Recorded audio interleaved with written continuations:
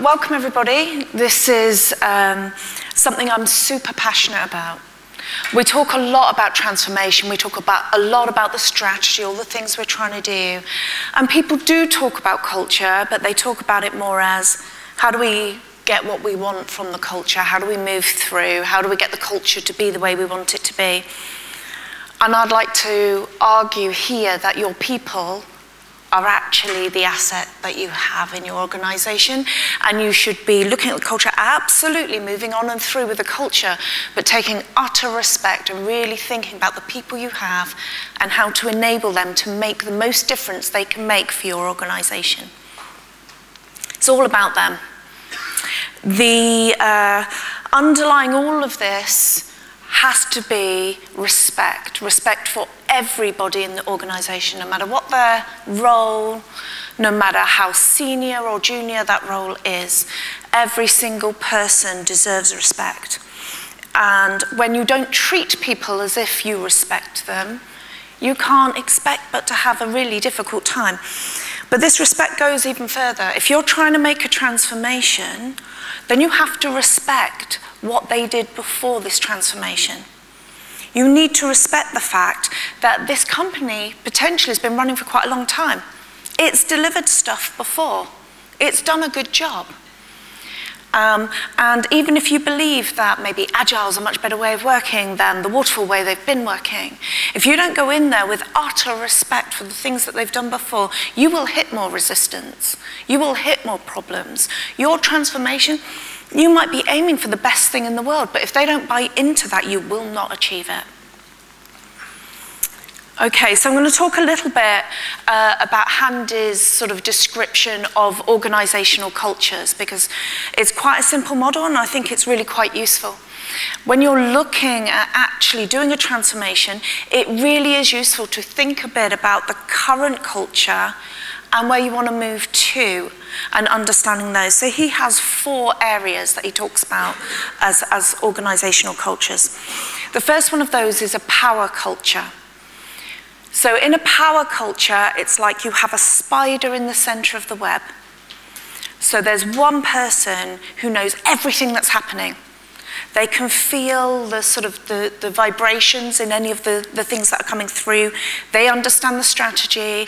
They understand why it's got to be that way. They interpret the information that comes in and sends out more instructions. This tends to come in an organization that was a startup and has now grown much bigger, where there's a particular person who set this company up and is really central to it. But what tends to happen in these organizations is that anybody on one uh, part of that web doesn't know the detail of the other parts of that web. They only know the details of the bit they're on, and they don't necessarily understand the cultural, the, the strategic significance of the bit that they're on.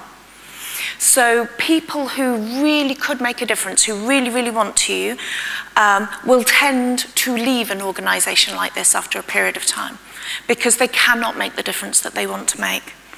And what that tends to do is convince the person in the centre they're doing absolutely the right thing because they can't rely on anybody being there long term. So it tends to be self-fulfilling. Uh, the second type of culture is a task-oriented culture. So this is where um, groups of people get together to solve a particular problem that exists in the organisation and uh, they maybe get together, maybe it's a project, maybe it isn't. There's a particular issue, they get together, they solve that problem together. Now, these might be long-lasting groups of people, teams, or they might be people who are gathered together, run a project, and break up and do. But there are organizations that work in that way. And probably to some extent, this is the direction um, that a lot of organizations would like to take at the moment. We then have the person-oriented uh, culture. So in here, it's who you are that matters. It's what skills you have that matter. It's what cross skills you have that matter. So this is about which individual is the right person to do this thing. Um, these are really, really rare and they tend to be quite small organizations, um, but they do tend to be very popular with people who are those change agents who really want to do things because people can and are allowed to make the difference they can most make. And then we have this one, which um, I think probably most of us will recognize, which is the role-based organization. And that is your job title says what you do. Your job title defines what you will be involved in and uh, the extent of your power and um, that way of working. So I'm going to talk a little bit today about an organization that was absolutely in a role model culture and the transformation that I worked with them on, moving far more towards the task-oriented culture. So uh, this was a financial organization and I was head of software delivery. So I was in that hierarchy and I had particular things that I was allowed to do and not do. It was 140 years old, financial organization, very hierarchical. So to try and move them from a completely waterfall way of working to an agile way of working and looking at digital transformation along the way and things that we could do to improve customers' experience um, and to actually improve the way that we worked internally to digitize that um, was a really interesting thing to do. So this organization, as I say, 140 years old, um, it also had what I think a number of uh, organizations do, those people who sit between the people who are trying to do the coding, to do the solutions, to do the testing, to get it to where it needs to be, and the people who actually want that. Now, yes, the actual end person who we hope wants it is the end customer. But a lot of these organizations, there's an internal customer. So when I joined this one, uh, the uh, software delivery was across the whole organization. So all of the tools and services that the organization used as a whole. But the BAs, when I joined, uh, told me very proudly that they were the gateway into IT. And they were. The people who were providing these solutions were not allowed to speak to any of the people who wanted these solutions. The business analysts did that talking, and the business analysts decided what was important, what wasn't important to get done, not the people in the business. And um, I, there was one lady who uh, was head of mortgage services, and I remember her sort of uh, telling a tale of there was a particular change she requested before she went on maternity leave and her son was now 10 years old and she didn't have it yet. And um, luckily that particular one was with an external vendor, not with my team, but nonetheless, there were many things of that ilk. We uh, did a piece of work to actually analyze. We used JIRA to, to collect the requests that came in from the business. And we, hold, we held a little uh, competition to see who could guess the total age of all of the tickets in JIRA that were still open and waiting for our attention. Um, and it turned out it was 574 years, uh, which was lovely. But interestingly, after actually doing that calculation, and we kind of made it a bit of fun to see who would get closest, after we did that, within a week, our oldest ticket, which was 12 years, had shut and um, quite a lot of the older tickets because people had started to look at them again and ask people, is this really what you still need? Let's actually just make sure we clear the decks and we end up with things that you really want to hear about. So, really important for me in this was engaging the business. Um, typically in a transformation, people see it as a technology transformation and not a business transformation. And I think that's what they achieve. They achieve a technology transformation. But the business continues to work in the way it did and tries to use those tools to just carry on in that way. But also, a lot of these techniques we're talking about using are really useful in the business as well. After all, um, lean techniques, Kanban, didn't start in software, it started in manufacturing is, these aren't tools that are designed for software. We've adapted them to use them within software. And they're very useful for other areas. We engage the business in a number of ways. Um, I stood up at an internal operations conference and explained to people roughly what Agile was and what it was trying to achieve, because most of those people had never ever heard of it. Um, and I invited people at that conference to come and do some experiments with us and to try out working in this way. And I had quite a lot of people interested in that. I'd like to say it's because they were super interested in this transformation, but I think it was just they hadn't had any changes done for so long that they were desperate to try anything. And we chose one of the business areas and we worked with them. Um, and we worked in a small team, it was only a couple of developers. Um, we met every day with them. We, it was a fixed period of time, a trial to get certain things done in an area. And uh, little did I know at the time that the person we had chosen to work with hated IT with a vengeance and was the person who would tell everybody how bad it was, how nothing ever got changed, how awful it was. It slowed the business down. Um, I didn't know when I chose them, but I'm really glad I chose them. Uh, at the next uh, internal operations conference, which was six months later, I stood up and reminded people what Agile was. And he stood up and talked about how amazing his experience was and how he got so much more out of that than he actually had asked for at the start.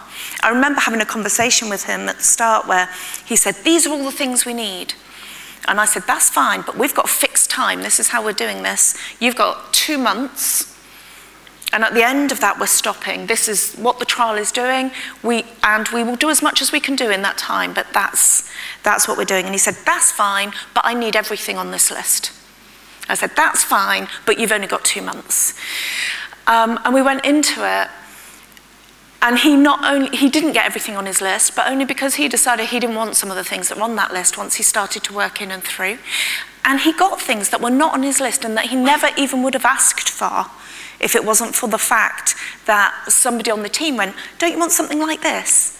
And he said, Yeah, but the BA told me that would take ages, so I'm not. And they're like, Well, I did it this morning in five minutes, so do you want to have a look and see if you want that? Um, and those direct communications, that working together to solve the problem. And I think that's what we're really trying to achieve with these things. Other things in engaging the business. So I stepped out of my role which caused problems and worry, not only in the business, but actually within technology as well.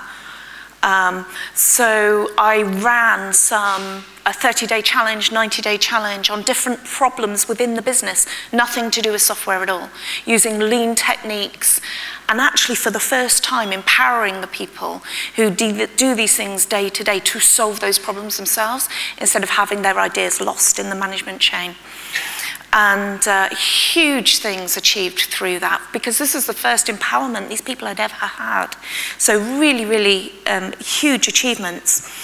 Um, I knew I was succeeding when I walked around. You know, when I joined the organization, all the walls were pristine.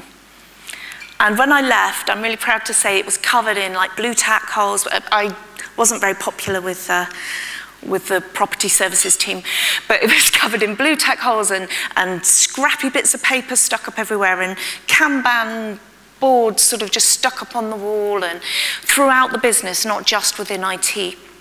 And people stealing some of these ideas and techniques and using them themselves for their own working that they were doing day to day. Um, and I think it's really important when you're looking to do a transformation that you don't just go in going, ha ha, this is what we're going to do, here's all the things. These things are all better, promise you they're better, just do them and you'll find out. Um, but actually go in and say, where are your problems? What difficulties do you have today? And I, I apply this into IT as well as into the business. So there was one project that uh, the guys were working on when I got there overnight processing of something, a data stuff, pulling together all the management information needed every day. And it was just stuck. They'd been working on it for quite a long time. Nothing was being delivered at the end. Lots and lots of work was going on and nothing was coming out. And they didn't really know why. So I just got them to put it up on a Kanban board. Just say, right, what are the tasks you're doing? Let's just put it up. And visually, it was really obvious. There were two areas, huge number of tickets in waiting for test and a huge number of tickets in development. Now, there were only four developers on this project, so there were about 30 tickets in development. Um, so the question was, who's doing these tickets? One developer had 20 tickets. And I'm sure he was spending his whole time running around telling everybody where their ticket was rather than actually working on any of those tickets. So I got him to put back 15 of those tickets. Now I know five tickets is too many for the developer to have, but for him that was a big drop and it was, it was going in the right direction. Um, so we moved lots of things back to to do instead of uh, in development. And what we also did was look at all of those tickets that were in waiting for test and say, well, why are they waiting for test? At the time, the test team was a completely separate team and uh, they were short of numbers and they were prioritizing other projects. So I asked the unaskable question, can a developer test this area?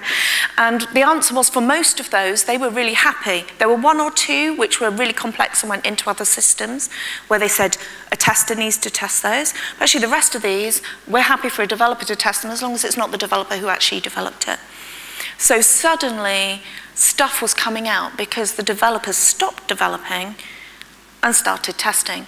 And that all just came out of the fact that they visualized their work.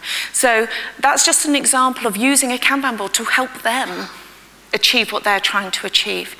And there were lots of examples like that where they had pain and I was able to sort of pull out of the toolbox a tool that helped them to visualize or help them to smooth out the process or to do something like that. And what happened then was this was these was a set of tools to help them do their job, not a new way of working that was imposed on them.